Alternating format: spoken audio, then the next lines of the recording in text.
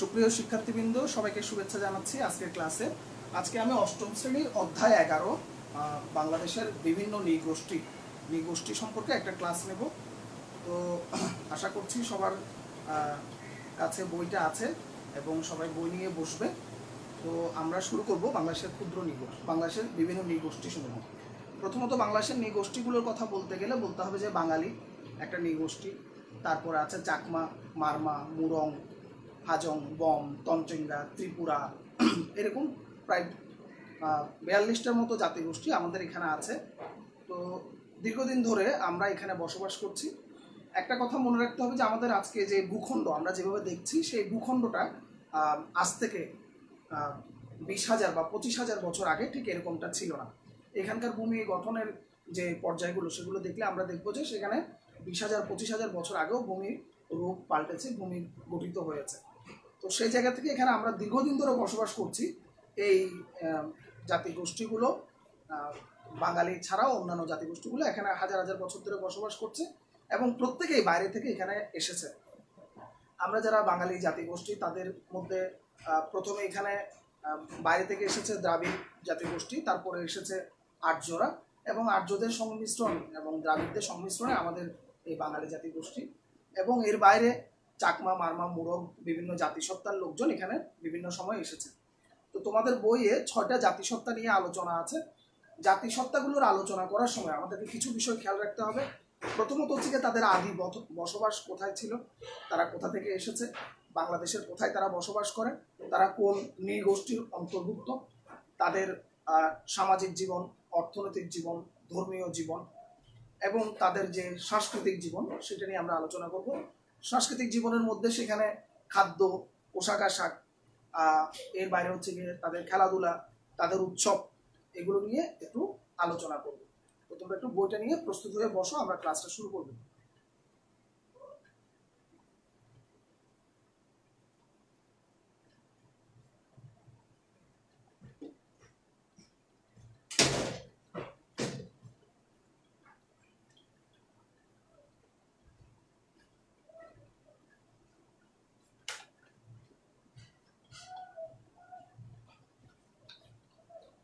আমি প্রথমে বাংলাদেশের মানচিত্রে একটু দেখাতে চাই যে আসলে বাংলাদেশের যে ক্ষুদ্র নৃগোষ্ঠীগুলো আছে তাদের বসবাসটা মূলত কোন জায়গাকে কেন্দ্র করে?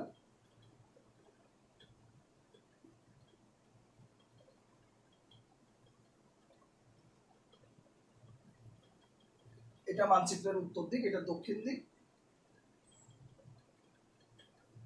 এটা পূর্ব দিক। এটা পশ্চিম দিক তো বাংলাদেশের ক্ষুদ্র নৃগোষ্ঠীগুলোর মধ্যে বেশিরভাগ সংখ্যারই বসবাস হচ্ছে বাংলাদেশের দক্ষিণ পূর্ব অংশ।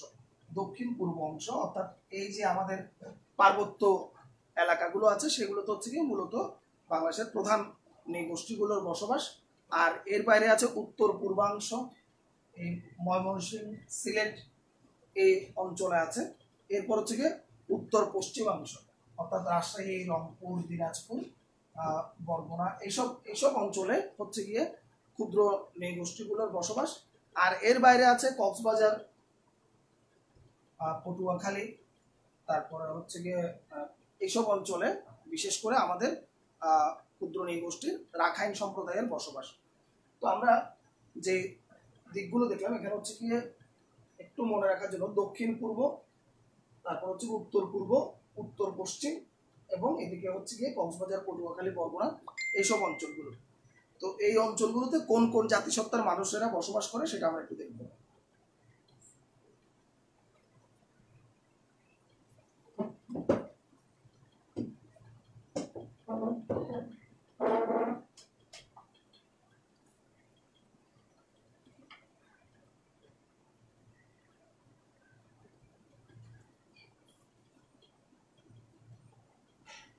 প্রথমে এই যে দক্ষিণ পূর্ব অংশ, এখানে যারা বসবাস করে, দক্ষিণ পূর্ব অংশে যারা বসবাস করে, তাদের মধ্যে রয়েছে চাকমা, মারমা, ত্রিপুরা, ঠিক আছে? তঞ্চঙ্গা ম্রো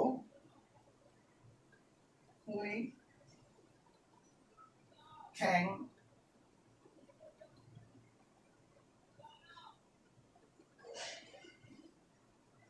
বা কুমি খ্যাং তারপর হচ্ছে গিয়ে বাংকুয়া, বম, লুসি। তো এই জাতিসত্তাগুলোর বসবাস হচ্ছে কি আমাদের এই যে দক্ষিণ পূর্ব অংশ, অর্থাৎ আমাদের পার্বত্য চট্টগ্রাম অঞ্চলে এই জাতিসত্তার বসবাস। তারপর হচ্ছে এদিকে সিলেট অঞ্চলে, অর্থাৎ এটা হচ্ছে কি আমাদের উত্তর পূর্ব। উত্তর পূর্বের সিলেট অঞ্চলে হচ্ছে গিয়ে খাসিয়া, মণিপুরি আর ময়মনসিংহ অঞ্চলে অর্থাৎ এখানে ময়মনসিংহ অঞ্চলে বসবাস করা হচ্ছে গারো।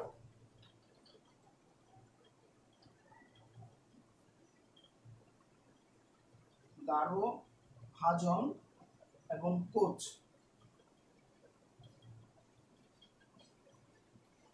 এই জাতিসত্তাগুলোর বসবাস। এটা হচ্ছে সিলেট।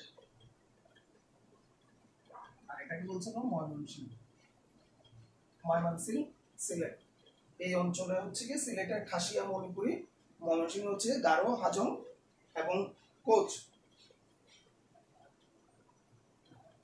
আর এর বাইরে আমাদের যে রাজশাহী, রং, দিনাজপুর, রংপুর হ্যাঁ?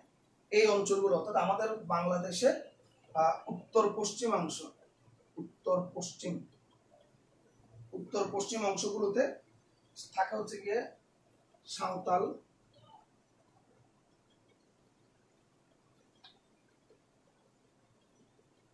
ওরাও মাল, পাহাড়ি।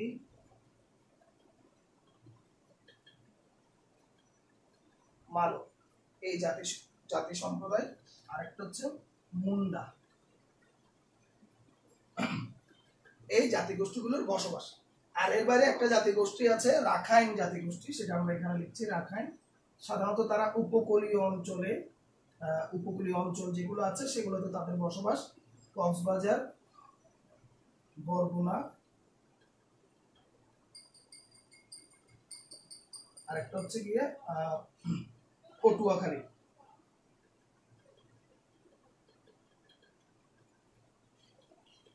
তাহলে আমরা যদি বলি যে আমাদের বাংলাদেশে আমরা আদিবাসী জাতিগোষ্ঠী সমূহের অবস্থানটা একটু জানতে চাই। প্রথমত হচ্ছে আমাদের উত্তর দক্ষিণ পূর্ব দিকে। দক্ষিণ পূর্ব দিক আমাদের যে তিন পার্বত্য এলাকা, বান্দরবন রাঙামাটি খাগড়াছড়ি।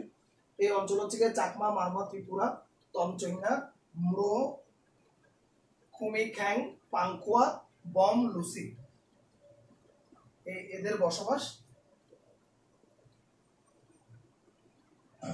উত্তর পূর্ব অংশে সিলেট অঞ্চলে, এই জায়গাটায় খাসিয়া, মণিপুরি এবং ময়মনসিংহ অঞ্চলে গারো, হাজং, কোচ। আর উত্তর পশ্চিমাংশ যেটা, অর্থাৎ এই পাশটা, উত্তর পশ্চিমাংশ, এই পাশে, এই পাশের জেলাগুলো হচ্ছে গিয়ে রাজশাহী, রংপুর, দিনাজপুর, বগুড়া মূলত এই অঞ্চলগুলো আছে রাজশাহী, রংপুর, দিনাজপুর, বগুড়া এবং হচ্ছে পাবনা। পাবনা, এই অংশগুলোতে আছে, এই অংশে আছে। এখানে বসবাস হচ্ছে কি মূলত সাঁওতাল, ওরাও, মাল, পাহাড়ি, মালো মুন্ডা তোমাদের বইয়ে এগুলো আলোচনা আছে। মানচিত্রটা নেই, মানচিত্রটার দিকগুলো যদি আমরা ভালো করে জানি, এখন এগুলো ইন্টারনেটে সহজেই পাওয়া যায় মানচিত্র। সুন্দর একটা ছবি নিয়ে আমরা একটু স্থানগুলোকে চিনে নিব এবং সেখানে কোন স্থানে কোন জাতিসত্তার মানুষের বসবাস, সেটা একটু আমরা দেখে নেব। তো, প্রথমে আমরা যে জাতিসত্তাটা নিয়ে আলাপ করতে চাই, যে নৃগোষ্ঠী নিয়ে আমরা আলাপ করতে চাই, সেই নৃগোষ্ঠীটা হচ্ছে চাকমা।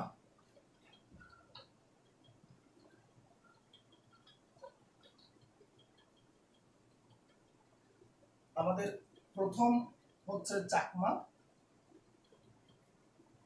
আমরা আমাদের সৃজনশীল প্রশ্নের জন্য এবং নৈর্ব্যক্তিক প্রশ্নের জন্য চাকমাদের সম্পর্কিত কিছু তথ্য আমরা সেটা নেব। চাকমারা হচ্ছে গিয়ে পার্বত্য এলাকায়, মূলত রাঙামাটি, খাগড়াছড়ি,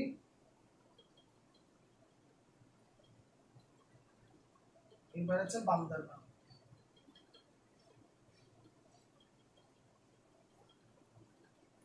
এই তিন জেলায় মূলত চাকমানি গোষ্ঠীর বসবাস। চাকমারা মূলত এর বাইরে বাস করা হচ্ছে ভারতের মিজোরামে। ভারতের মিজোরাম একটা এলাকা আছে যেখানে চাকমাদের বসবাস আছে। ত্রিপুরা একটা এলাকা আছে এবং অরুণাচল। খুব সুন্দর জায়গা, অরুণাচল। মিজোরামও খুব সুন্দর জায়গা এবং ত্রিপুরা। এই তিনটা জায়গায় ভারতের অংশে চাকমাদের বসবাস আছে। চাকমাদের প্রথমত আমরা সামাজিক জীবন, তারপর অর্থনৈতিক জীবন, তারপর হচ্ছে ধর্মীয় জীবন এবং এরপরে সাংস্কৃতিক জীবন। তো সামাজিক জীবনে চাকমা পরিবারগুলো হচ্ছে চাকমাদের যে পরিবার, পরিবারই হচ্ছে গিয়ে সমাজের মূল। কয়েকটা চাকমা পরিবার মিলে হয় আদাম। তাহলে আমরা এই কথাটা মনে রাখব। কয়েকটি পরিবার মিলে হচ্ছে আদাম। কয়েকটা আদাম মিলে পাড়া কয়েকটা পাড়া মিলে, কয়েকটি শব্দটা আমি লিখছি না সার্কেল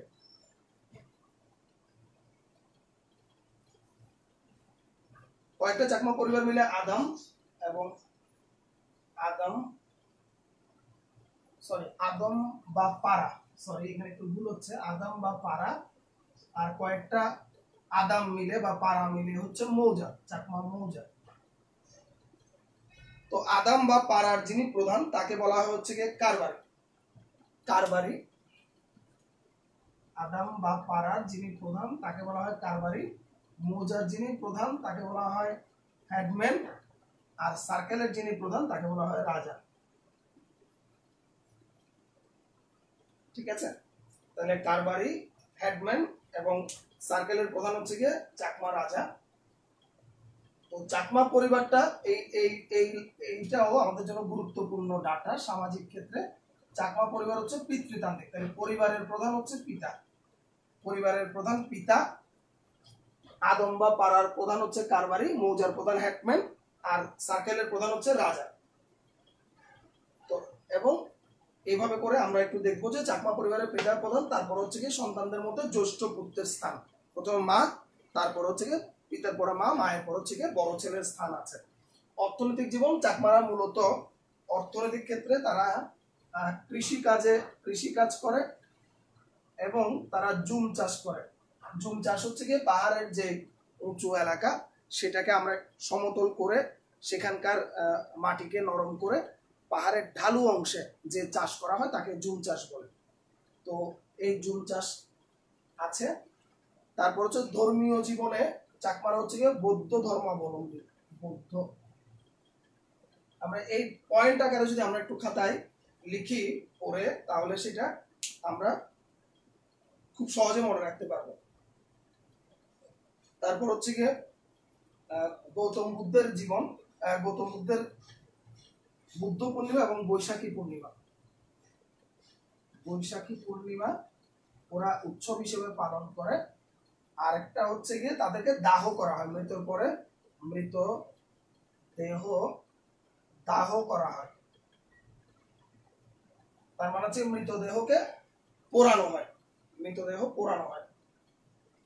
এরপর হচ্ছে সাংস্কৃতিক জীবন। সাংস্কৃতিক জীবনের মধ্যে আমরা পোশাক, তারপর হচ্ছে খাদ্য, খেলাধুলা এবং ভাষা। এই জিনিসগুলো আমরা একটু নোট নিব। তো বলছে চাকমারা নিজেদের তাঁত দিয়ে পোশাক তৈরি করে। চাকমা ছেলেদের পরনের কাপড়ের নাম হচ্ছে পিনন হাদি। তাহলে একটু আমরা এভাবে লিখি। পোশাক। ছেলেদের ক্ষেত্রে হচ্ছে পিনন তারপর হচ্ছে গিয়ে হাদি, তারপরে মেয়েদের ক্ষেত্রে, তারপরে বলছে যে, চাকমা মহিলাদের তৈরি, বিভিন্ন কাপড়ের মধ্যে হচ্ছে গিয়ে ফুলগাদি ফুলগাদি এবং নানা ধরনের দেশি বিদেশি কাপড় তাদের পছন্দ। তাহলে বিশেষ কোনো কাপড় নাই, আমরা একটু মেয়েদের ক্ষেত্রে ফুলগাদি শব্দটা নোট নিতে পারি, ফুলগাদি।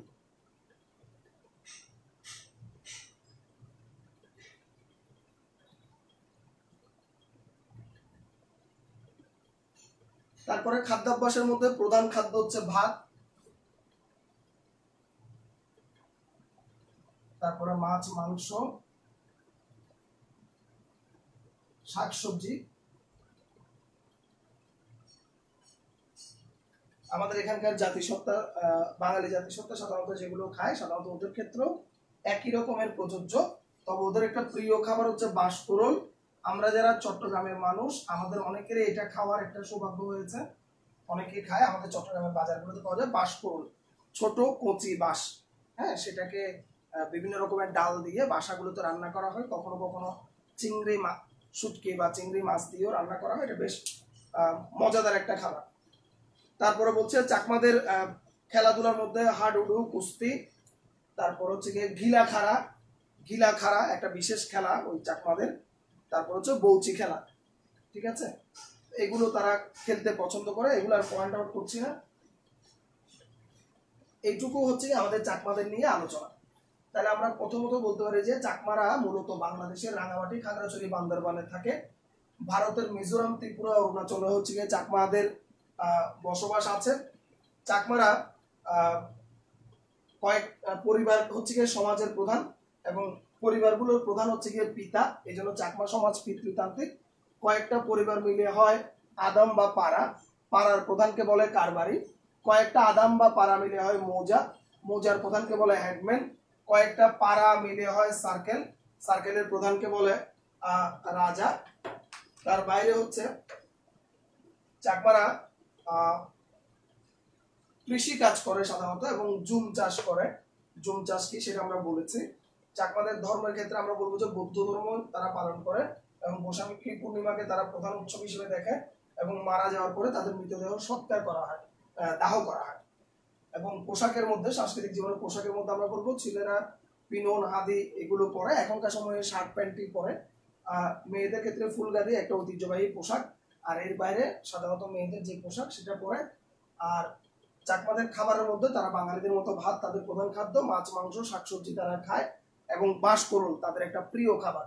আর এরপরে খেলাধুলার মধ্যে আমরা বলব, একটা খেলার নাম আমাদেরকে একটু মনে রাখতে হবে সেটার নাম হচ্ছে ঘিলা খাড়া এই খেলার নামটা একটু মনে রাখব, কারণ এটা একটু আলাদা ধরনের।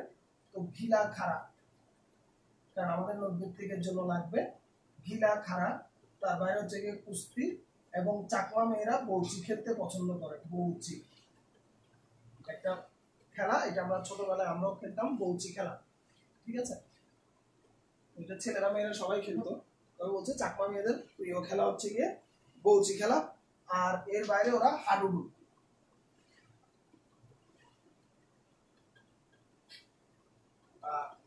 খেলতে পছন্দ করে।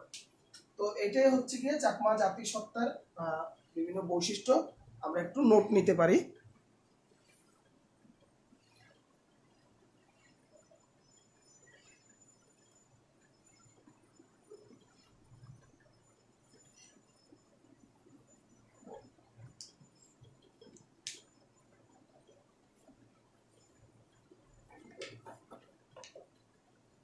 এরপরে যে জাতিসত্তার আলোচনাটা আমাদের বইয়ে আছে, সেটা হচ্ছে গারো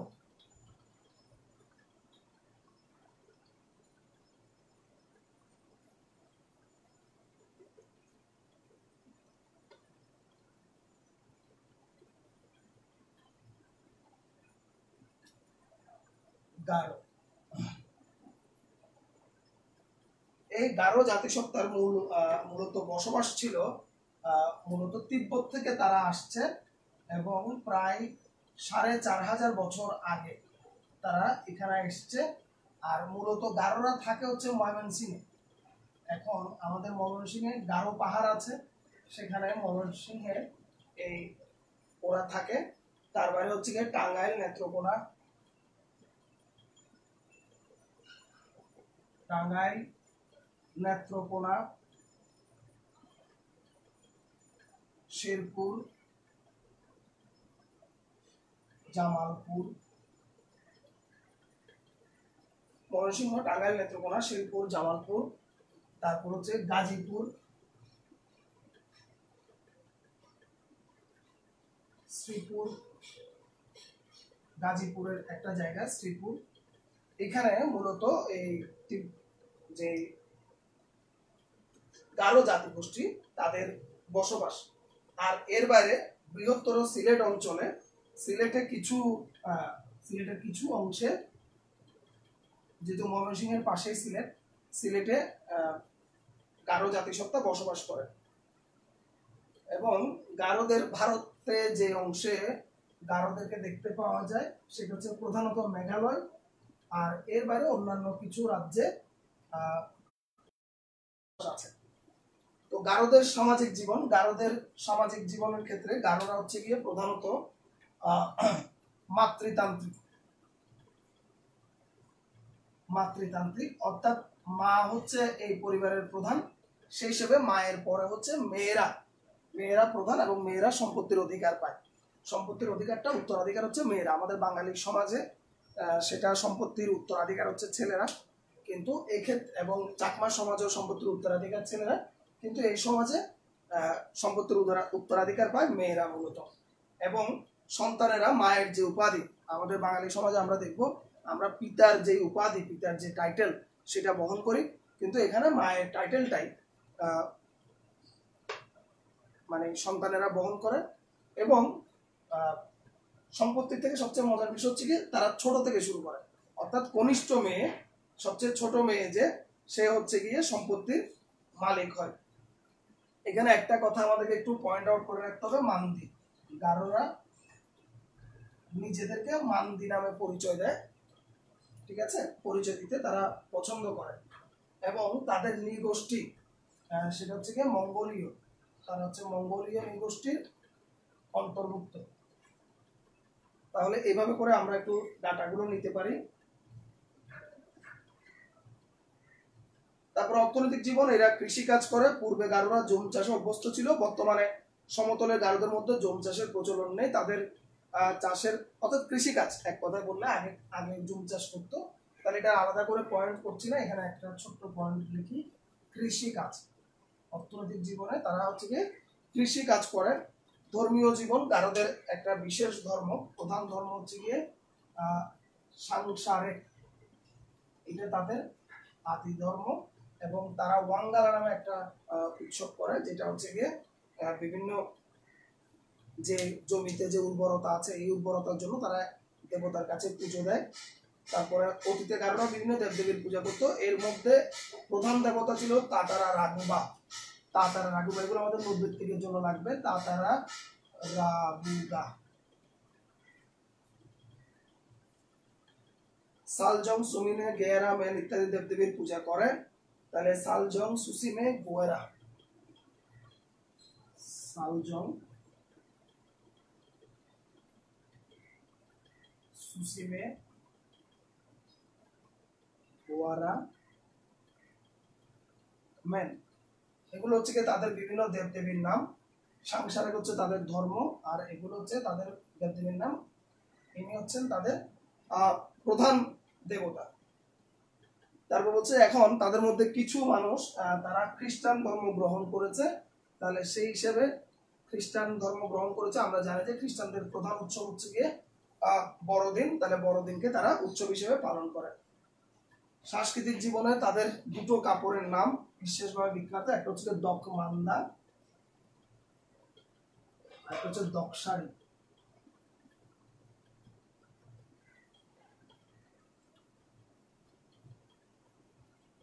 আর মেয়েদের, এটা মেয়েদের ক্ষেত্রে আর পুরুষদের ক্ষেত্রে হচ্ছে, পুরুষদের ক্ষেত্রে হচ্ছে গান্ধ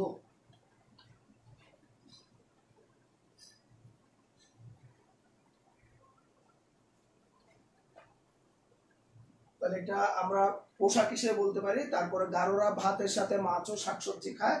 তাদের একটা বিশেষ খাদ্য হচ্ছে কচি বাঁশের গুড়ি। এর জনপ্রিয় নাম হচ্ছে মেওয়া। তাহলে খাদ্যের মধ্যে আমরা বলতে পারি যে ভাত, মাছ, শাকসবজি শাকসবজি খায়। আর এর বাইরে তাদের একটা প্রধান খাবার যেটার নাম হচ্ছে মেওয়া। মেওয়া। এটা হচ্ছে কচি, বাঁশের গুড়ি। এছাড়া তারা কলা পাতায় মোড়ানো পিঠা, মেরা পিঠা এবং তেলের পিঠা খেতে পছন্দ করে। তাহলে কলা পাতায় মোড়ানো পিঠা, মেরা পিঠা এবং তারা আরও তেলের পিঠা খেতে পছন্দ করে। গারোরা খুব আমোদ প্রিয় তাদের সামাজিক উৎসবগুলো আচ্ছা একটা সামাজিক উৎসবের নাম বলেছিলাম যে ওয়ানগালা ওয়ানগালা। এটা মূলত তারা দেবতাকে উৎসর্গ করে একটা উৎসব করে এবং চাকমাদের ভাষার নাম হচ্ছে গিয়ে আচিক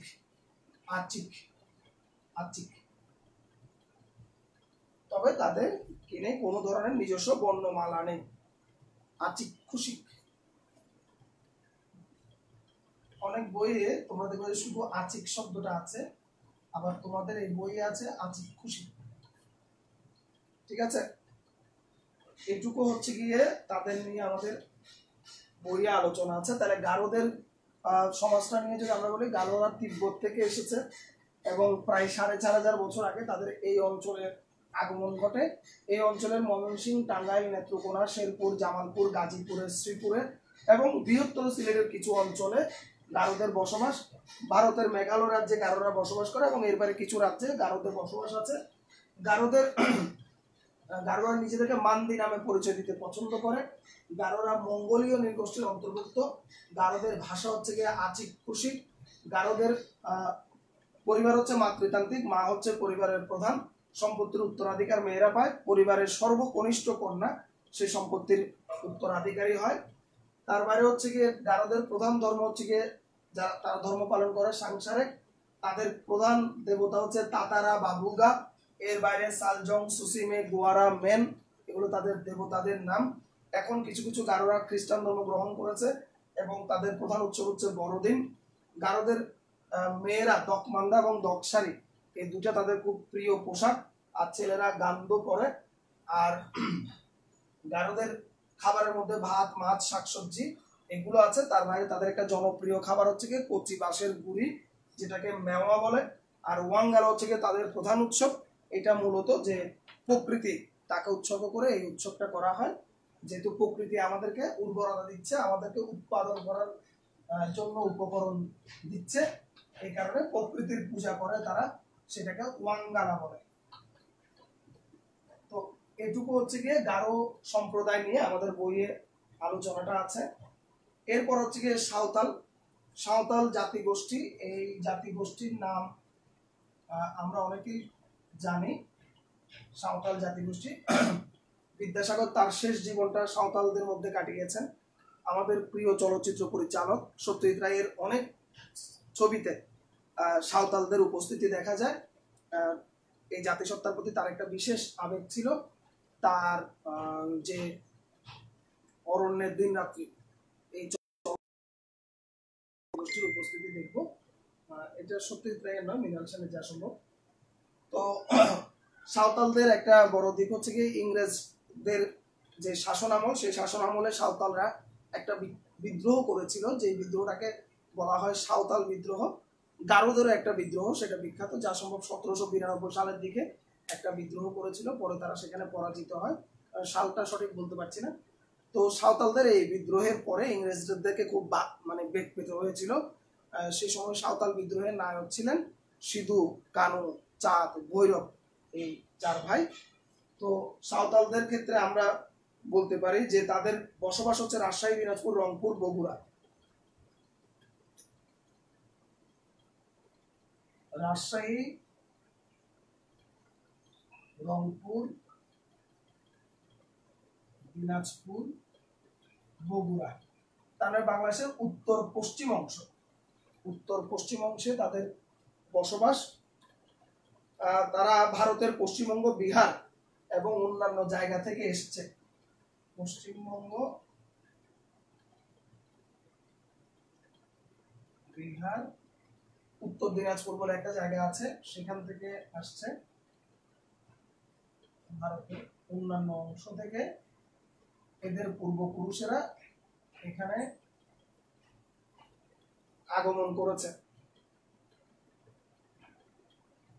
সাঁওতালরা অস্ট্রালয়েড নৃগোষ্ঠী হিসেবে তারা অস্ট্রালয়েড, মঙ্গলয়েড নয়। এটা একটু আলাদা করে মনে রাখতে হবে, অস্ট্রালয়েড নৃগোষ্ঠীর অন্তর্ভুক্ত।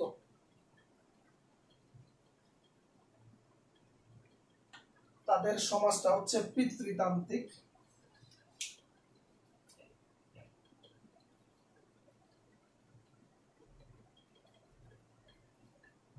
পিতৃতান্ত্রিক সমাজ পিতার সূত্র ধরে সন্তানের দল বা গোত্র পরিচিত হয়। সাঁওতাল সমাজের মূল ভিত্তি হচ্ছে গ্রাম পঞ্চায়েত।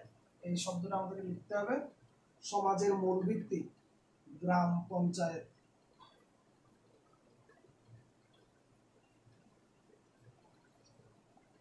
গ্রাম পঞ্চায়েত হচ্ছে সমাজের মূল ভিত্তি। পঞ্চায়েতের পরিচালনার জন্য পাঁচজন সদস্য। থাকে পাঁচজন সদস্য। গ্রাম পঞ্চায়েত। পরিচালনা করেন। এই পঞ্চায়েত সদস্যের মধ্যে একটা বিশেষ সদস্য হচ্ছে নায়কী। নায়কী। একে তারা ধর্মগুরু হিসেবে মানে। এই পঞ্চায়েতের পাঁচজন সদস্যের একজন হচ্ছে গিয়ে নায়কী। নায়কীকে তারা ধর্মগুরু হিসেবে মানে। এবার রয়েছে মাঞ্জহি আরাম জগমাঞ্জহি জগ পারণিক গোডেথ এগুলো হচ্ছে এক একটা পোস্ট। সর্বশেষ পোস্ট হচ্ছে নায়কী নায়কীকে তারা ধর্মগুরু হিসেবে তারা মানে। এর বাইরে সাঁওতালদের অর্থনৈতিক জীবন, তাদের জীবনটা মূলত কৃষিকে কেন্দ্র করে।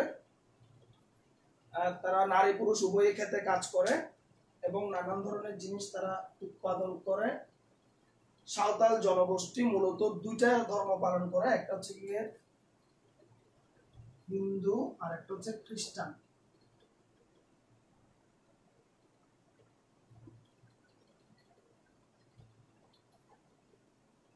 এই দুটো ধর্ম তাদের আছে। আর সাঁওতালদের প্রধান খাদ্য হচ্ছে গিয়ে ভাত।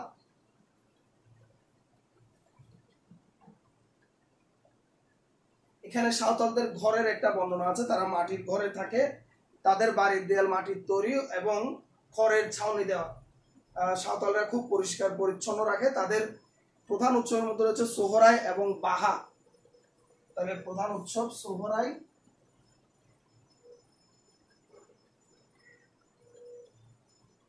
এবং বাহা হচ্ছে তাদের প্রধান উৎসব এবং ঝুমুর নাচ। এইসব উৎসবগুলোতে তাদের একটা খুব বিখ্যাত সাঁওতালদের ঝুমুর নাচ একটা সংস্কৃতির অংশ। এরা বিবাহ অনুষ্ঠানে আয়োজিত হয় দোন এবং জিকা নাচ। দোন নাচ এবং জিকা নাচ। এগুলো বিয়েতে, সাঁওতালদের বিয়েতে এই নৈবেদিকগুলো আমাদেরকে একটু মনে রাখতে হবে এবং আমরা বারে বারে খাতায় এগুলো লিখব, লিখে এভাবে করে একটা পেজের মধ্যে আমরা তাদের সম্পর্কিত লিখব এবং লিখে সেগুলো মনে রাখার চেষ্টা করব। সাঁওতাল মেয়েরা শাড়ি পরে পুরুষরা লুঙ্গি পরে, সাঁওতালরা অলংকার প্রিয়। তাহলে এই পয়েন্টটা আমরা একটু মনে রাখতে পারি অলঙ্কার প্রিয়।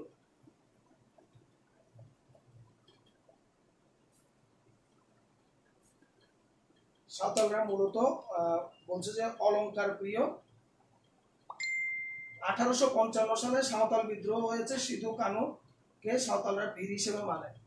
আঠারোশো পঞ্চান্ন সালে সাঁওতাল বিদ্রোহ, সিধু কানু, এর বাইরে আরও দুই ভাই আছে চাঁদ এবং ভৈরব। ঠিক আছে? তো এই হচ্ছে গিয়ে সাঁওতালদের সম্পর্কিত আলোচনা, আমাদের বইয়ে আছে।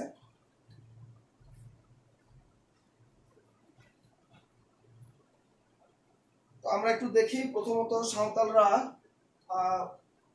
সাঁওতালরা থাকে রাজশাহী, রংপুর, দিনাজপুর, বগুড়া। তারা মূলত আসছে ভারতের পশ্চিমবঙ্গ, বিহার এবং অন্যান্য অংশ থেকে। সাঁওতালরা অস্ট্রোলয়েড নৃগোষ্ঠীর অন্তর্ভুক্ত। সাঁওতাল সমাজ পিতৃতান্ত্রিক এবং সন্তানেরা পিতার যে বংশ পরিচয় গোত্র, সেটা পায়। সাঁওতালদের সমাজের প্রধান যে ভিত্তি, সেটা হচ্ছে গ্রাম পঞ্চায়েত। গ্রাম পঞ্চায়েতের পাঁচজন সদস্য থাকে। তার মধ্যে সর্বশেষ যে সদস্য তার নাম, সেই তার নাম হচ্ছে নায়কী। নায়কীকে তারা ধর্মগুরু হিসেবে মানে। অর্থাৎ পাঁচটা সমাজের মধ্যে পাঁচটা পোস্ট আছে। তার মধ্যে সর্বশ্রেষ্ঠ হচ্ছে নায়কী। তাকে তারা ধর্মগুরু হিসেবে মানে। সাঁওতালরা মূলত খুবই অলংকার প্রিয় এবং সোহরাই ও বাহা হচ্ছে ওদের প্রধান উৎসব তারা কৃষি কাজ করে, জীবন ধারণ করে। সাঁওতালরা হিন্দু এবং খ্রিস্টান ধর্মাবলম্বী। ঝুমুর নাচ সাঁওতালদের একটা মানে উৎসবের একটা কমন বিষয়, খুব পছন্দের বিষয়। আর এরবারে বিয়েতে ওরা দোল নাচ এবং জিকা নাচ করে। খাবারের মধ্যে ওরা ভাত, সাধারণ আমরা যে বাঙালি জাতিসত্তা যেভাবে খাই সেটাই। ভাত, মাছ, শাকসবজি এগুলো খায়। এবং আঠারোশো পঞ্চান্ন সাল এটা খুব গুরুত্বপূর্ণ। একটা বিদ্রোহ হয়েছিল, সাঁওতাল বিদ্রোহ ইংরেজদের বিরুদ্ধে। সেখানে নেতৃত্ব দিয়েছিলেন সিধু এবং কানু। তো এই হচ্ছে গিয়ে সাঁওতালদের সম্পর্কে আমাদের বইয়ের আলোচনা।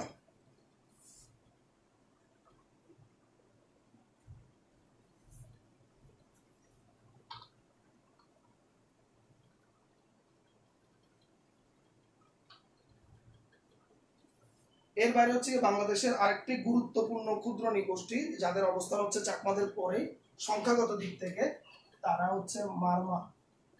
মারমারাও মূলত থাকে হচ্ছে গিয়ে আমাদের তিন পার্বত্য এলাকায়, ঠিক আছে?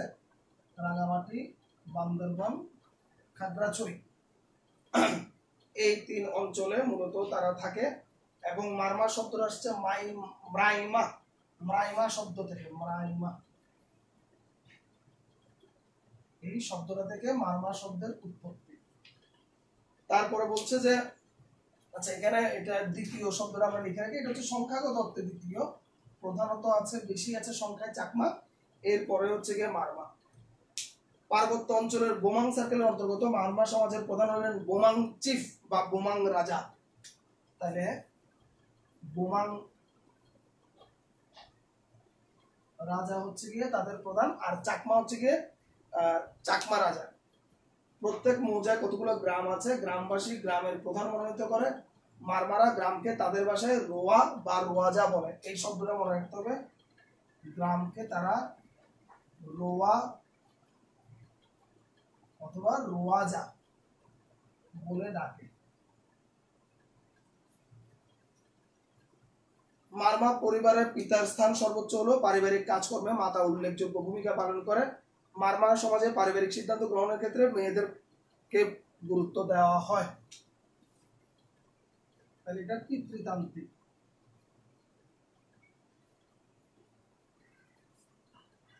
অর্থনৈতিক জীবন, এক্ষেত্রেও তারা কৃষি কাজ করে এবং জুম চাষ করে। একটু মিল পাবো, যেহেতু পার্বত্য এলাকায়, তাদের ক্ষেত্রে একটা মিল দেখা যাবে। বেশিরভাগ ক্ষেত্রে চাকমা এবং মারফতের মধ্যে আমরা দেখব যে যে তথ্যগুলো আছে, সেগুলোর মধ্যে মিল আছে। এবং মারমারাও বৌদ্ধ ধর্মাবলম্বী। বৌদ্ধ ধর্মাবলম্বী এবং বৌদ্ধ ধর্মের অনুষ্ঠানগুলোই করে তারা। বৈশাখী পূর্ণিমা, আশ্বিনী পূর্ণিমা, কার্তিকী পূর্ণিমা, মাঘী পূর্ণিমা। তাহলে আমরা এটাকে এখানে লিখতে পারি যে তারা বৌদ্ধ, বৈশাখী, মাঘী, কার্তিক এবং বুদ্ধ পূর্ণিমা তারা বৌদ্ধ ধর্ম পালন করে এবং এগুলো হচ্ছে গিয়ে তাদের প্রধান উৎসব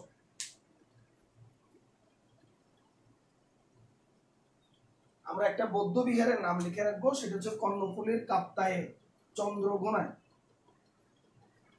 কর্ণফুলী নদীর তীরে কাপ্তায়ে চন্দ্রগোনায় চিৎমরম বৌদ্ধ বিহার।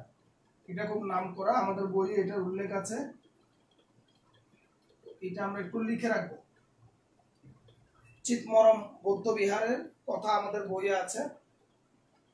সাংস্কৃতিক জীবন তারা তাদের বাঁশ, ছন, কাঠ দিয়ে তারা একটু উঁচু করে, মাটি থেকে উঁচু করে ছয় সাত ফুট উপরে তারা ঘর বানায়। মারমা পুরুষেরা মাথায় গবং একটা বিশেষ পাগড়ি। তাহলে গবং শব্দটা আমরা লিখে রাখতে পারি, এটা নব্বের থেকে আসবে। গবং পাগড়ি।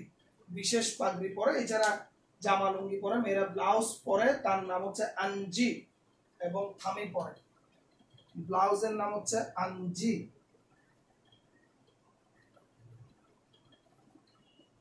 এর বাইরে থামি পরে। তাহলে গবম হচ্ছে পাগড়ি, আনজি হচ্ছে ব্লাউজের নাম। আনজি হচ্ছে ব্লাউজের নাম গবং হচ্ছে পাগড়ি। ভাত, মাছ, মাংস, শাকসবজি এগুলো খায়। ওদের একটা প্রধান খেলা হচ্ছে গিয়ে একটা প্রধান উৎসব হচ্ছে সাংরাই। নববর্ষের উদযাপন, সাংরাই এবং তাদের একটা প্রধান এই উদযাপনের একটা প্রধান খেলা হচ্ছে পানি খেলা। হ্যাঁ ছেলেরা, মেয়েরা পানি নিয়ে জগবর্তী পানি নিয়ে একে অপরের দিকে ছুঁড়ে মারে, একটা নির্দিষ্ট নৌকায় থাকে। সেই পানি সেখান থেকে নিয়ে তারা এটা ছুঁড়ে দেয়। তো এটা হচ্ছে গিয়ে মারমাদের সম্পর্কে আমাদের বইয়ে যে তথ্যগুলো আছে সেগুলো একটা হচ্ছে গিয়ে মারমা শব্দটা মাইমা থেকে এসেছে। জাতি গোষ্ঠী হিসেবে তারা দ্বিতীয়, চাকমাদের পরেই তাদের অবস্থান সংখ্যাগত অর্থে তারা মূলত চাকমাদের মতোই পার্বত্য এলাকা রাঙামাটি, বান্দরবন, খাগড়াছড়িতে থাকে এবং তাদের পরিবার হচ্ছে পিতৃতান্ত্রিক পরিবার। যেহেতু চাকমা সার্কেলের প্রধানকে চাকমা রাজা বলে, এখানে মারমাদের সার্কেলের প্রধানকে বোমাং রাজা। এদের তাকে বোমাং সার্কেল বলে। তারা গ্রামকে রোয়া বা রোয়াজা বলে, এটা খুব গুরুত্বপূর্ণ। কৃষিকাজ তাদের অর্থনৈতিক প্রধান ইয়া, উপসর্গ। এবং তারা জুম চাষ করে। তারা বৌদ্ধ ধর্মাবলম্বী এবং তাদের এই বৈশাখী পূর্ণিমা, মাঘী পূর্ণিমা, কার্তিক পূর্ণিমা, বুদ্ধ পূর্ণিমা, এগুলো তারা পালন করে। এর বাইরে তারা নববর্ষের উদযাপন করে সাংরাই। সাংরাই হচ্ছে তাদের নববর্ষের অনুষ্ঠান এবং এই অনুষ্ঠানে তাদের পানি খেলা, একটা বিশেষ খেলা। নৌকার মধ্যে পানি রাখে এবং দুপাশ থেকে যুবক, যুবতীরা পরস্পরের দিকে ছুড়ে দেয়। এটাতে তারা বেশ আনন্দ পায় পানির খেলা। তাদের পোশাকের মধ্যে গবং একটা বিশেষ পাগড়ি পুরুষেরা মাথায় পরে। মেয়েরা যে ব্লাউজ পরে সেটাকে আঞ্জি বলে এবং যে কাপড়টা শরীরে পেঁচায় তাকে থামি বলে।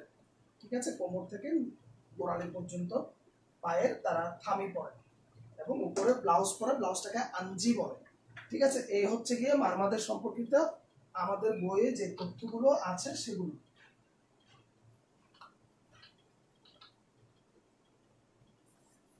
সবশেষে আমাদের বইয়ে যে জাতিগোষ্ঠীর আলোচনা আছে, সেটা হচ্ছে গিয়ে রাখাইন সম্প্রদায়। ঠিক আছে? রাখাইন আগে বলেছি, রাখাইন হচ্ছে গিয়ে কক্সবাজার উপকূলীয় অঞ্চল মূলত, রাখাইন সম্প্রদায়। তারা কক্সবাজার, বরগুনা, পটুয়াখালী।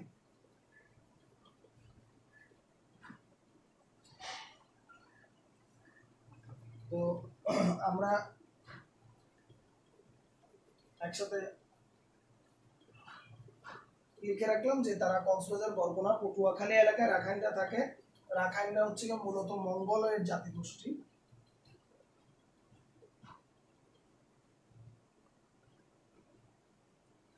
তারা হচ্ছে মঙ্গলয়েড রাখাইন শব্দটা আসছে পালি ভাষার রাখাইন থেকে। পালি ভাষা। এটা সাধারণত বৌদ্ধ ধর্ম গ্রন্থগুলো লেখা হয়েছে পালি ভাষায়, আর শব্দটা আসছে রাখাইন থেকে। পালি ভাষার রাখাইন থেকে। এর অর্থ হচ্ছে, রাখাইন শব্দের অর্থ হচ্ছে রক্ষণশীল জাতি। এই ডাটাগুলো আমরা লিখে রাখব। বারবার লিখে মুখস্থ করার চেষ্টা করব, এগুলো আমাদের মনে রাখতে হবে। রাখাইন অর্থ কি আসবে তারপরে হচ্ছে গিয়ে রাখাইনদের মিয়ানমারের আরাকান অঞ্চল, যেখানে এখন রোহিঙ্গারা আছে। মিয়ানমারের আরাকান অঞ্চল থেকে তারা এখানে এসে বসবাস করছে। তারপরে হচ্ছে গিয়ে রাখাইন পরিবার, পিতৃতান্ত্রিক পিতাই পরিবারের প্রধান, তবে মেয়েদেরকে গুরুত্ব দেওয়া হয়। তাহলে আরেকটা ডাটা আমরা রাখতে পারি, পিতৃতান্ত্রিক।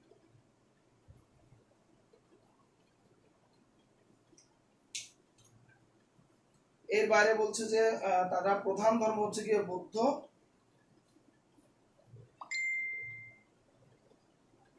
তাহলে আমরা দেখলাম যে আদিবাসী জাতিসত্তার মধ্যে বেশিরভাগ হচ্ছে বৌদ্ধ ধর্মাবলম্বী। চাকমা, মারমা হ্যাঁ তারপর হচ্ছে রাখাইন। এরা বেশিরভাগ হচ্ছে বৌদ্ধ ধর্মাবলম্বী। সমুদ্র উপকূল এলাকায় এরা এদের গ্রামগুলো অবস্থিত এবং এরা গোল পাতার ছাউনি এবং কারও কারও ঘরে টিনের ছাউনি ব্যবহার করে। আচার অনুষ্ঠান বলতে তারা বুদ্ধ পূর্ণিমা, বৈশাখী পূর্ণিমা, বসন্ত উৎসব এগুলো করে। রাখাইনরা সাংরাই উৎসব পালন করে, সেটা তাদের সবচেয়ে বৃহৎ ও সার্বজনীন উৎসব। তো আমরা সাংরাইটাও লিখে রাখি। কারণ তাদের একটা বৈশিষ্ট্য হিসেবে আমাদের উদ্দীপকে থাকতে পারে যে সাংরাই তাহলে মারমা এবং রাখাইনদের ক্ষেত্রে সাংরাইটা কমন আসতে পারে বৈশিষ্ট্য। তারপরে রাখাইনরা লুঙ্গি এবং ফতুয়া পরে, ফতুয়ার উপর লুঙ্গি পরে, পাগড়ি তাদের ঐতিহ্য। রাখাইন মেয়েরা লুঙ্গি পরে, লুঙ্গির উপরে ব্লাউজ পরে। তাহলে ফতুয়া, লুঙ্গি হচ্ছে ব্লাউজ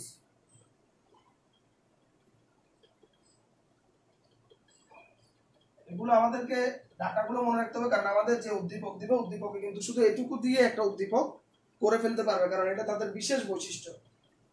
এই বিশেষ বৈশিষ্ট্যের কারণে এটা দিয়েও কিন্তু ইয়ে হবে, উদ্দীপক হবে, এবং শুধুমাত্র উপকূলবর্তী, এই শব্দটা দিয়ে উদ্দীপক করে, যে তারা উপকূলে বসবাস করে, এটুকু দিয়ে উদ্দীপকটা তৈরি হতে পারে। তাহলে এই কথাটা আমাদেরকে মনে রাখতে হবে যে রাখাইনরা কক্সবাজার, বরগুনা, পটুয়াখালী উপকূলীয় অঞ্চলে থাকে। রাখাইন শব্দটা রাখাইন থেকে আসছে, রাখাইন শব্দটা হচ্ছে রক্ষণশীল জাতিগোষ্ঠী রাখাইন শব্দটা পালি ভাষা থেকে তৈরি, পালি ভাষার শব্দ।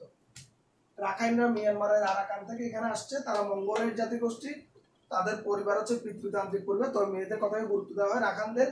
প্রধান উৎসব হচ্ছে বৌদ্ধ ধর্মীয়রা যে উৎসব পালন করে, যেহেতু তারা বৌদ্ধ, বুদ্ধ পূর্ণিমা, মাঘী পূর্ণিমা, আশ্বিনী পূর্ণিমা এগুলো পালন করে। আলাদা করে মনে রাখতে হবে সাংরাইটা মারমা এবং রাখাইন উভয়ই পালন করে। আবার এরা বসন্ত উৎসব করে। রাখাইনরা ফতুয়া এবং ফতুয়া, লুঙ্গি ছেলেরা এবং মেয়েরা ব্লাউজ এবং লুঙ্গি পরে। এগুলো হচ্ছে গিয়ে এদের এখন যে কথাটা বলতে চাইছি সেটা হচ্ছে গিয়ে আমরা এতগুলো ডাটা মনে রাখতে গেলে আমাদেরকে যেটা করতে হবে, আমাদেরকে একটা ছক তৈরি করে বাসায় এটা প্র্যাকটিস করতে হবে। যেমন আমরা একটা গারো, একটা চাকমা, একটা মারমা, একটা রাখাইন তারপর হচ্ছে একটা সাঁওতাল, এভাবে পাঁচটা কলাম করতে পারি, যেখানে এই পাশে একটা কলাম রাখতে পারি, ছয়টা কলাম। এখানে হচ্ছে চাকমা, মারমা, গারো, সাঁওতাল, রাখাইন। এবার এদিক থেকে আমরা লিখতে পারি বসবাস। ঠিক আছে? কে কোথায় বসবাস করছে? তারপর আমরা লিখতে পারি, ধরো ভাষা। যাদের যাদের ভাষার কথা আছে, ভাষা। যাদের যাদের নাই, তাদের ক্রস দিয়ে রাখব যে এইটা আলোচনা বইয়ে নাই। তারপরে হচ্ছে গিয়ে ভাষার পর আমরা লিখতে পারি ঘর। মানে যাতে ঘরের ধরনটা কেমন, তাদের বাড়িটা কীভাবে তৈরি হয়, তারপর আমরা লিখতে পারি অর্থনীতি, অর্থনৈতিক জীবন, ঠিক আছে? তারপর আমরা লিখতে পারি খাদ্য, তারপর আমরা লিখতে পারি পোশাক, আমরা লিখতে পারি ধর্ম, এইভাবে করে আমরা কিন্তু একটা চার্ট দু তিনটা পৃষ্ঠা নিয়ে করতে পারি অথবা একটা বড় ক্যালেন্ডার নিয়ে। সেখানে আমরা এইভাবে চার্ট তৈরি করলে জাস্ট পুরো অধ্যায়টা আমি যদি এক জায়গায় রাখি দু, তিন দিন জাস্ট আমরা শুধু একটু ঘুরে ঘুরে হাঁটা চলার পথে একটু দেখলে আমার এটা মুখস্থ হয়ে যাবে, আমার মনে হয়। তো এটা একটু রাখতে পারো। আর নিচে একটা পয়েন্ট রাখতে পারো, বিশেষ বিশেষ বিশেষ। যেমন আমরা ওদের ক্ষেত্রে পেলাম, ওই যে গারোদের ক্ষেত্রে পেলাম ওয়াঙ্গালা একটা উৎসব। সাংরাই, শব্দটা লিখলাম, সাংরাই, এই নববর্ষের উৎসব, মারমা এবং রাখাইনরা পালন করে। ওয়াঙ্গালা, গারোদের একটা ধর্মীয় উৎসব, ঠিক আছে? দকমান্দা দকশারি গারোদের, মেয়েদের পছন্দের পোশাক, ঠিক আছে? এভাবে করে আমরা বিশেষ বিশেষ করে হয়তো বিশটা বা তিরিশটা পয়েন্ট এভাবে নোট করে রাখতে পারি। তো এই চ্যাপ্টারটা খুবই সহজ, একটু আমরা সবাই পড়ব। কিছু ডাটা আছে, মুখস্থ করার চেষ্টা করব। যে কথাটা বলতে চাইছি সেটা হচ্ছে কি এই যে জাতিগোষ্ঠী, এই জাতিগোষ্ঠীগুলো আমাদের দেশের সমগ্র যে জনগোষ্ঠী, তার একটা পার্ট একটা গুরুত্বপূর্ণ পার্ট একটা বাগানে যেমন একটা ফুল থাকলে সেটাকে বাগান বলে না, সেটাকে ক্ষেত বলে। ঠিক আছে? ক্ষেতের মধ্যে গোলাপ ফুলের ক্ষেত, প্রচুর গোলাপ ফুল। রজনীগন্ধার ক্ষেত, প্রচুর রজনীগন্ধা, চাষ হচ্ছে। কিন্তু সেটা বাগান নয়। বাগানের যে সৌন্দর্য, সেটা হচ্ছে অনেকগুলো ফুলের সমাহার তেমনি আমাদের যে বাংলাদেশে যে জনগণ বসবাস করে, তার মধ্যে যে বিভিন্ন জাতিসত্তা রয়েছে, এটা আমাদের গর্ব করার মতো বিষয় যে আমাদের এখানে বৈচিত্র্যতা আছে। এবং বৈচিত্র্যতা প্রকৃতির সবচেয়ে সুন্দর দিক। শুধু যদি পাহাড় হতো, আমাদের ভালো লাগতো না। শুধুই নদী, সব আমাদের ভালো লাগবে না। এই যে পাহাড়, নদী, পাখি হ্যাঁ নানান ধরনের পশু, গাছপালা, এদের সমাহারটাই আমাদের কাছে সৌন্দর্য। তাহলে বৈচিত্র্যতা সবসময় সৌন্দর্য আনয়ন করে। এই কারণে আমরা বলতে পারি যে আমাদের দেশ জনগোষ্ঠীতে গোষ্ঠীর দিক থেকেও বৈচিত্র্যে ভরপুর। এটা একটা বিষয়। আর এখানে খুব ভালো লাগতো যদি বাঙালি জাতিসত্তা নিয়েও আলাপটা থাকতো। কারণ এখানে আলাদা করে তাদের কথা বলা, বাঙালিদেরকে না রাখা, সেটা আমার কাছে মনে হয় যে তাদেরকে সঠিক মূল্যায়নটা করা হয় না। এখানে জাতিসত্ত্ব হিসেবে সবার নামটা এসে কিছু ছোট ছোট আলোচনা থাকলে সেটা আরও অনেক ভালো হতো। তো যাই হোক, হয়তো পরবর্তী সময়ে সেটা সংযোজন করা হবে। তো বিভিন্ন জাতিসত্তাগুলোকে আমরা আমাদের সর্বোচ্চ মর্যাদাটা দেব, সর্বোচ্চ সম্মানটা দেব। কখনো এটা ভাবার দরকার না যে আমরা বাঙালি, আমরা সুপিরিয়র তারা মানে একটু পিছিয়ে পড়া, এভাবে করে ভাবার কোনো অবকাশ নেই। ঠিক আছে? বড়জোর আমরা সমতলের মানুষেরা যে সুযোগ সুবিধাগুলো পায় এই যে যারা পার্বত্য এলাকায় আছে বা যারা আদিবাসী জাতিগোষ্ঠী, তাদের মধ্যে সেই সুযোগ সুবিধাগুলো পৌঁছায় না। এই কারণে আমাদেরকে সর্বোচ্চ চেষ্টা করতে হবে, আমাদের যারা নীতি নির্ধারক, তাদেরও চেষ্টা করতে হবে যে এই জাতিগোষ্ঠীগুলোকে কীভাবে অর্থনৈতিকভাবে আমাদের যে বাঙালি জাতিসত্তা সেই স্তরে নিয়ে আসা যায়। এইটা সর্বোচ্চ পরিমাণে চেষ্টা করতে হবে এবং মর্যাদার সাথেই তাদেরকে রাষ্ট্রের নাগরিক হিসেবে ট্রিট করতে হবে। তো এটা বলে আজকে আমাদের এই ক্লাসটা এখানে শেষ করছি। পরবর্তী ক্লাসে আবার দেখা হবে। সবাইকে ধন্যবাদ। আশা করছি সবাই সুস্থ আছে, ভালো আছে।